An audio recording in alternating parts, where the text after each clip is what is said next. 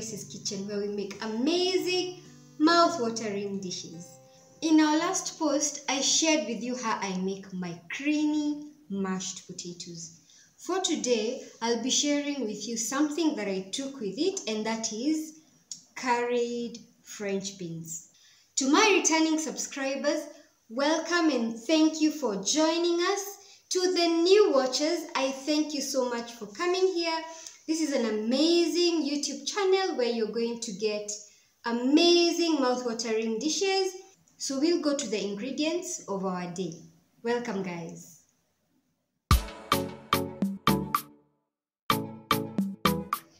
For our first ingredient, we have 250 grams of um, French beans. I've cleaned and cut off the ends. I'm yet to cut them into the shapes that I would like and I'll show you guys the shapes uh, a bit later. Then our second ingredient is some salt. And then our other ingredients we have some garlic, we have some tomatoes, then we have two cubes, we have one bay leaf and we have one onion. Then for our spices, we have some turmeric, we have some garam masala and we have some curry powder.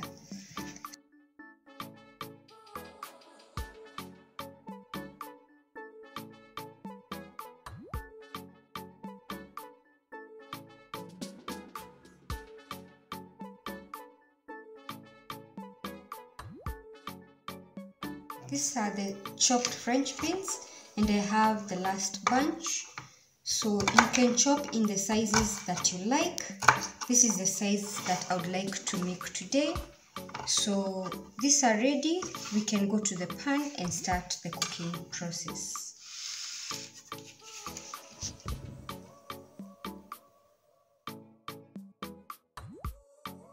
Some vegetable oil and at this point I'll put in my French beans. I just want them to fry for about two minutes. This is a very fast and simple meal. I'll put in some salt. This is not the salt that's going to go all the way. I'll add some as I continue cooking and flavoring the French beans. So I'll stir and cook this for two minutes. I want them to remain crunchy by the end of these two minutes. So this is just flavoring them with the oil.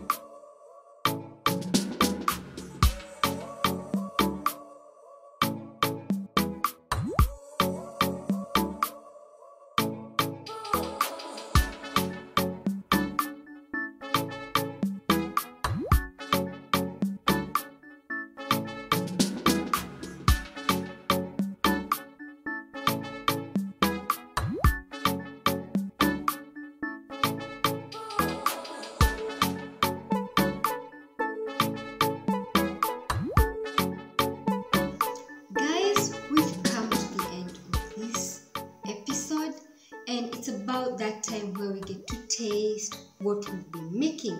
And we were making curried french beans. As you can see it's a complete meal of creamed mashed potatoes which I shared with you in the previous video and some protein which is beef and our star of the day which is our curried french beans i have already tasted they are crunchy still which is what i liked.